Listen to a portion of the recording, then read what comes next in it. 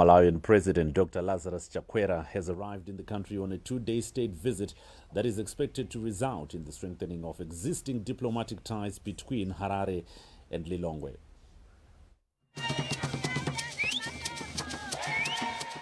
A rousing welcome for a brother with President Emmerson Mnangagwa taking time to welcome his counterpart.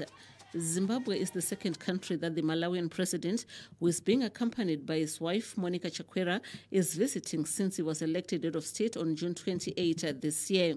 A lineup of dignitaries that included Vice President, retired General Dr. Constantino Chiwenga, several Zimbabwean cabinet ministers, and ministers from Malawi who traveled ahead of the president's delegation, the Minister of State for Harare Province, Comrade Oliver Chidawu, Malawi's top envoy to Zimbabwe, Her Excellency Ambassador Annie Kumwenda, ZANU-PF Politburo members, and service chiefs completed at the welcome party. After the introductions, President Mnangagwa and his counterpart went through the national anthem formalities before Dr. Chakwera inspected a guard of honor, which was preceded with a 21 gun salute.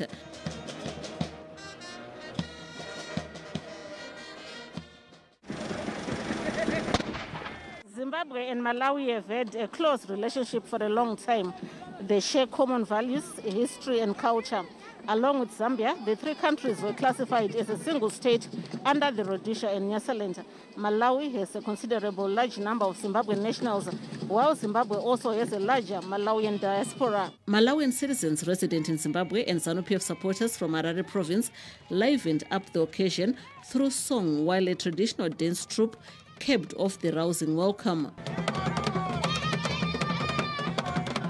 Zimbabwe and Malawi collaborated at regional, continental, and international levels through various organizations such as the United Nations, the African Union, the Southern African Development Community, and the Common Market for Eastern and Southern Africa.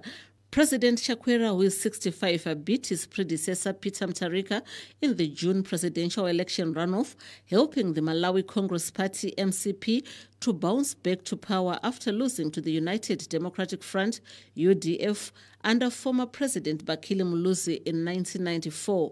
Janet Munyaka, ZBC News, Harare.